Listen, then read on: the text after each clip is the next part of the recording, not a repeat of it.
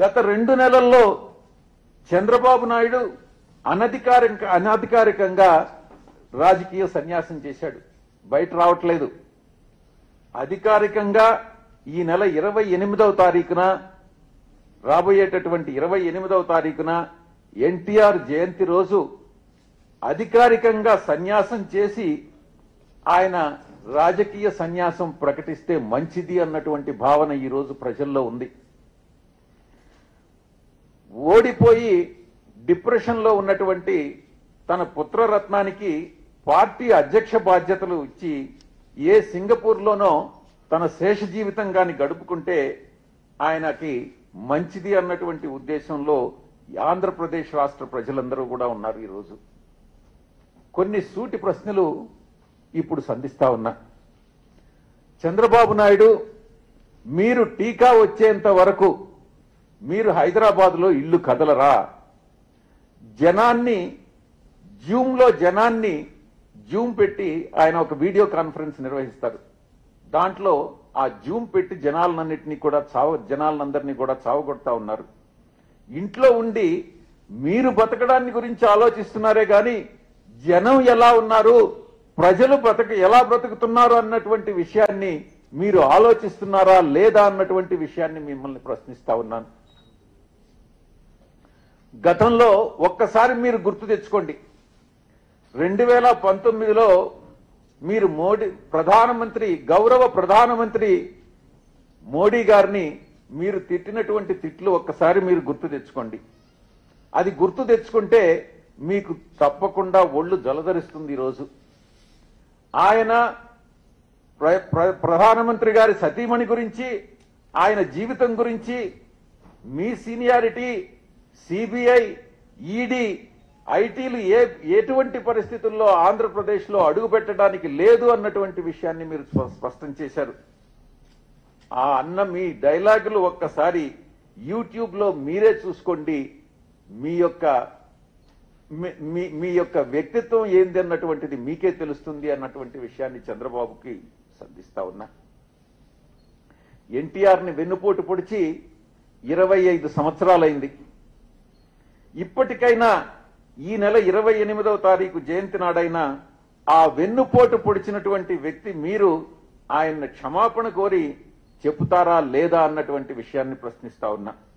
ఎన్టీఆర్ సమాధి వద్ద పాతిక సంవత్సరాలుగా ఒక్కసారంటే ఒక్కసారి ఆయన జయంతికి గాని ఆయన వర్ధంతికి గాని మీరు కన్నీటి బొట్టు వదిలారా అన్నటువంటి విషయాన్ని ప్రశ్నిస్తా ఉన్నా. ఎన్టీఆర్ బ్రతికుంటే ఈరోజు మీ తెలుగుదేశం పార్టీలో ఆయన ఉండేవారా? లేకుండుంటే జగన్ గారికి మద్దతు పలికేవారా అన్నటువంటి విషయాన్ని మీరు ఒక్కసారి మీరు మననం చేసుకోండి. లాక్డౌన్ పేరిట మీరు మీ పుత్రరత్నం మీరు కలిసి హైదరాబాద్లో చేస్తున్న పనేంటి? గతంలో మీరు అక్రమంగా ఆర్జించినటువంటి సొమ్ము అక్రమ ఆస్తులు సరిచూసుకుంటున్నారా అని ప్రశ్నిస్తా ఉన్నా. గత ఏడాదిగా మీ ఆస్తుల విలువ పెరిగిందా? మీ ఆస్తుల విలువ తగ్గిందా? ఇంట్లో కూర్చొని మీరు మనవడితో ఆడుకుంటున్నారా లేక మీ కొడుకుతో ఆడుకుంటున్నారా? ప్రజలను మర్చిపోయి ఆంధ్ర రాష్ట్ర ప్రజలను మర్చిపోయి అన్నటువంటి విషయాన్ని ప్రశ్నిస్తా ఉన్నాం. విశాఖలో జరిగినటువంటి దుర్ఘటనలో మీరు నిజంగా బాధపడుతున్నారా? మీ మనస్సాక్షిని మీరు ఒక్కసారి ప్రశ్నించుకోండి. లేక మీరు సంతోషపడతా ఉన్నారా? మీరు నిజంగా దుఃఖపడుతున్నారా అన్నటువంటి విషయాన్ని ఒక్కసారి ప్రశ్నించుకోండి. మీ జీవితంలో మీరు ఎప్పుడైనా ఏ విషయంలోనైనా ప్రజల గురించి మీరు బాధపడ్డారా? మీ మీరు మీకు బాధ సంతోషం లాంటి ఫీలింగ్స్ ఏదైనా మీకు మనిషిలో ఉన్నాయా అన్నటువంటి విషయాన్ని నేను ప్రశ్నిస్తా ఉన్నా. జగన్ గారి ముందు చంద్రబాబు నిలబడలేడు అనని మీ ఎల్లో పత్రికల్లోనే మొన్న ఎల్లో పత్రిక యజమాని మొన్న ఆదివారం నాడు తేల్చేశారు. మిమ్మల్ని నమ్ముకున్న వారంతా మిమ్మల్ని ఇక నమ్ముకోవడం వేస్ట్ అని భావించేటటువంటి పరిస్థితి ఈరోజు వచ్చినందుకు మీరు బాధపడాల్సినటువంటి పరిస్థితి మీలో మీలో ఉంది ఈరోజు మీ కొడుకు మీతో ఉంటాడా లేదా అన్నటువంటిది విషయం కూడా సందేహపడాల్సినటువంటి పరిస్థితి.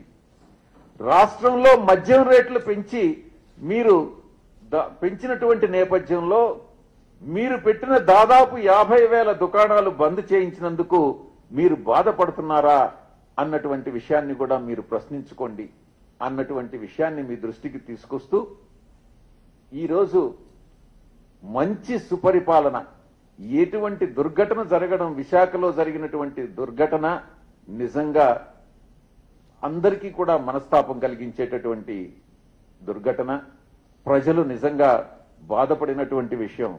నిజమే.